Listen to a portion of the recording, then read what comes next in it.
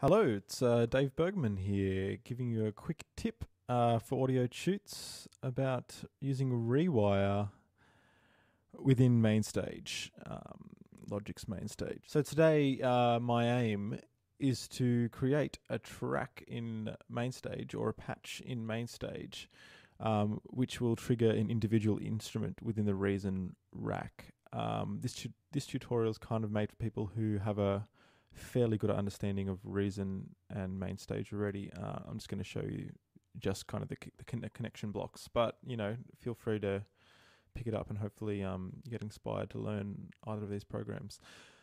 So with Rewire, um, basic explanation is it's kind of it's a digital interface between the two applications, between two applications. Um, so with zero latency, um, it just links the audio real time, routes the audio real time into another application. So to make Rewire work, you need to have both applications open. Obviously, um, one will always be a master, which will be receiving the audio. One will be a slave, which is sending an au- sending its audio to the master. Now, Rewire doesn't just send audio; it also sends MIDI as well, which we'll be exploring today. One of the most important things about Rewire is the order that you open the applications you're using. And this will determine whether it is a master or a slave um, for Rewire. So I've got two sample uh, files here. I'm just going to open MainStage first. Uh, it's loading up on my other screen here. We have MainStage here loaded up. Um, this is just some stuff I've been playing around with yesterday going to go ahead and delete these so we can start afresh uh, to give you guys a um, a good idea of how to start. There's no no cheats that I've done here. All right. So now that your MainStage is open, I'm going to go ahead and open my Reason song file. Uh, Reason's opening up on the other page. Uh, while this is happening,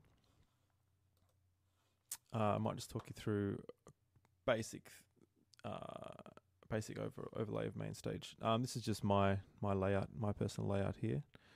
Um, and on the right here um, is where all the information is for your patch. So to add a new patch, which we will go ahead and do now, press that plus button.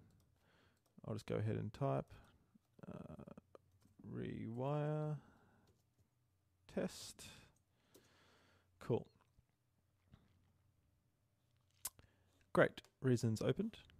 Drag it across. Uh, Reasons cool, little cool application. This is just a a test uh, layout that I've done. We just added a few synths on the page here. So we can go ahead and press the tab button, which turns us over to the back of the rack. We press it again, we can see we go to the back uh, of these patches here. Um, and you can see that up the top here, audio IO in out. So if you go flip over to the front side of that, we can see that it's operating, the audio driver operating is rewire and it's in slave mode. So when we uh, tab it back, these are the, the, the rewire patches. Uh, essentially, now rewire is great. It actually has up, has 64, uh, 64 channels uh, of patching internally in your computer. So I haven't never had to use that many, but you never know. Um, I think your computer, or my computer, definitely would be struggling uh, playing back that. Okay, so I'm just going to go ahead and destroy these patches here so we can start afresh.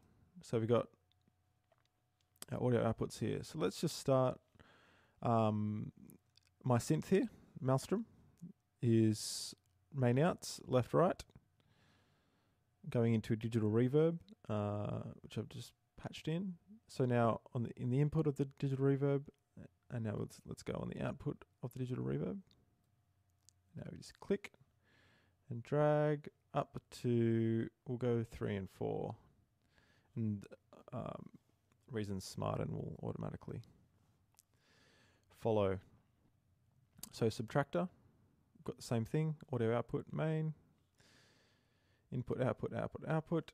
This is going, it's getting a bit confusing now, but it's going into digital reverb, into parametric EQ, and then into the ECF42 uh, envelope filter.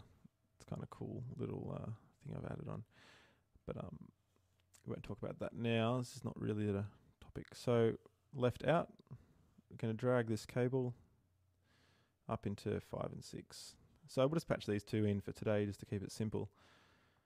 So let's tab back, and that's should be all you have to do in uh, Reason to patch it in.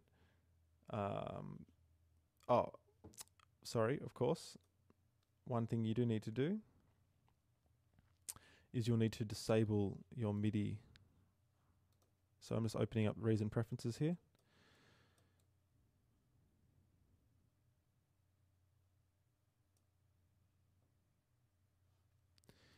Need to disable your MIDI keyboard um, so we can actually send MIDI via rewire instead of the program picking it up itself. So that's what we want. You can see how I'm not getting any any MIDI signal in, but I am up here on MainStage. I'm just pressing a few keys on my keyboard. All right, so let's just drag this out of view. Uh, it's not important for now. Here comes the fun parts. So, add a channel strip. So within a patch, within MainStage, we have channel strips. Um, you see up here, that little concert signal uh, symbol. It's the same as this symbol here. So that means that these these strips, you cannot change at a patch level. You can only change when you're at the concert level. But let's add a patch level strip. So new channel strip, uh, external instrument, very important. That's what we're doing today. So input, that's my keyboard, or any other MIDI input that you're going to use this with. Uh, so MIDI output. Okay, this is where we start getting crazy. So I'm going to route my keyboard into Reason via Rewire. Okay, it's a bit of a mouthful there. So here we go. MIDI output, and it'll show up as Reason. Uh, Rewire is clever and can rename everything. So MIDI channel. Look at look how look at that. There's my Reason rack. So I'm going to go ahead and select Maelstrom one. That, as you remember, that was the first channel strip, uh, not channel strip, first synth I had uh, loaded in the in the device rack in Reason. So stereo, yep. Input, Reason, okay this is this is where your rewire channels will come up. So it says rewire RW reason. Now uh, we put that into channel 3 4, and you can see what I mean. It goes all the way down to 63, 64. These are all stereo pairs at the moment. So there we go. That's it. Press create. Now I'm going to type in here Maelstrom. Okay. Now here comes the fun part. See if this actually works. Sure did. I'm just going to turn that down because that's quite loud. All right, let's open this. See what's happening here. So you see that the volume down a bit more, so we're not. It's quite. A, it's not very useful noise for a tutorial, but that's what I've done. so, Maelstrom is outputting a signal, but you notice Nothing else is. So I'm individually sending MIDI and I'm returning audio just from this one synth. Now that's that's game changing. That's crazy.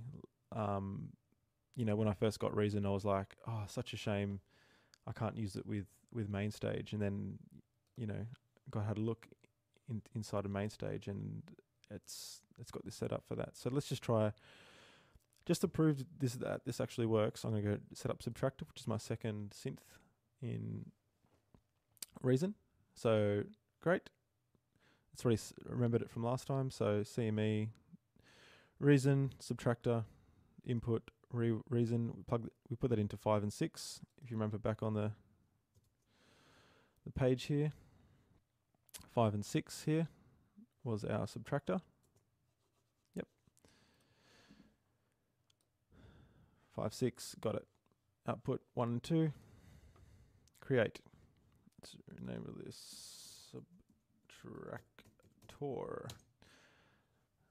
So let's mute this. Oh yes.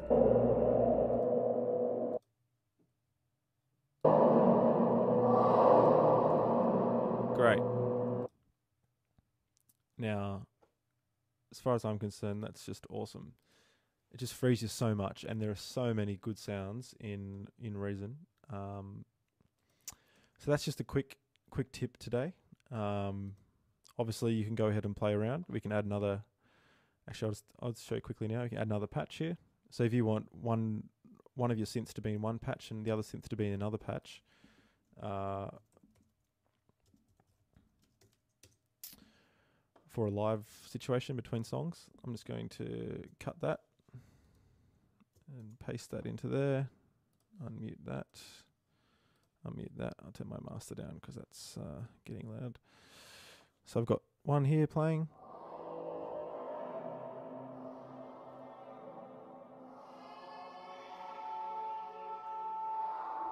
Okay, that song's over. Next.